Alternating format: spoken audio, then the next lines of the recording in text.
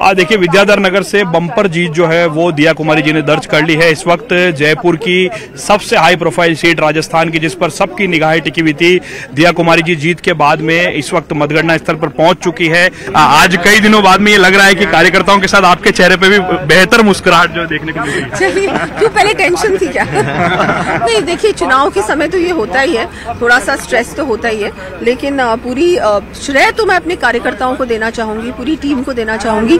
और सबसे ज़्यादा मैं मानती हूँ कि जनता ने जो विश्वास जताया है, वो हमारे माननीय प्रधानमंत्री जी पे और टीम बीजेपी पे, जिसमें हमारे माननीय श्री जेपी नड्डा जी, अमित शाह जी, सारा जो हमारा केंद्रीय मंत्रिमंडल है, हमारे केंद्र के नेता, प्रदेश के नेता, जिस तरह से सबने कलेक्टिवली मिलजुल कर एफर्ट किया, मेहनत की और उसका नतीजा है कि हमारी सरकार राजस्थान में बहुत बड़ी